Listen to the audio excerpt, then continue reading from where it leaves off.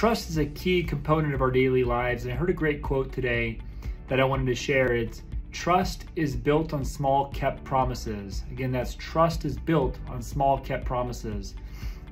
Whether you're helping your kids, you're dealing with your marriage, or at work, trust is super important to continue to build on and grow on top of.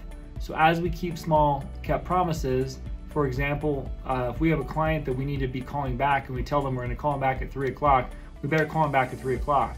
Uh, and so it's all those little things add up.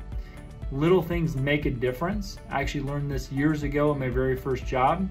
Our old manager would say we'd always tell them, tell a client they called in and we were working on their loan options, we'll call you back in two to three hours. And he always would, our manager would always say, well, why do I, why two, two to three hours? You know, why do we call him back in two to three hours? And everybody's like, ah, gives us enough time to review it.